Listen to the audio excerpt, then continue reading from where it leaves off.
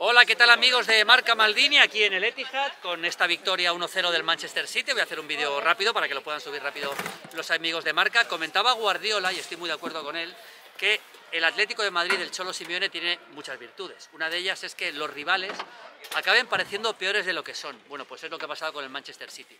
Ha parecido bastante peor de lo que es, mérito del Atlético de Madrid, evidentemente, que ha defendido muy bien, ha metido dos líneas de cinco, ha tapado todos los huecos posibles y al final ha acabado encontrando el resquicio Phil Foden, que ha tenido un impacto tremendo cuando ha entrado en la segunda parte para dar ese pase para Kevin De Bruyne, que deja la eliminatoria bastante encarrilada para el Manchester City. Ahora voy a contar eh, por qué creo que es así.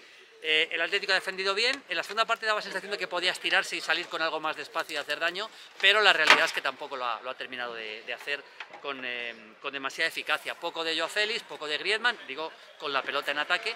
Me ha parecido un City que ha arriesgado poco, tenía mucho miedo a las pérdidas y a las contras que le podía hacer el, Atlético de Madrid, ha arriesgado poco y eso lógicamente ha hecho que, que pudiera defender mejor también el Atlético de Madrid, pero también es verdad que ha asumido muy poquito riesgo el City y el Atlético prácticamente no le ha llegado a puerta. Yo creo que eh, Ederson no ha hecho ninguna parada de mérito, ni mucho menos, ha sido un Atlético de Madrid prácticamente eh, inexistente en ataque.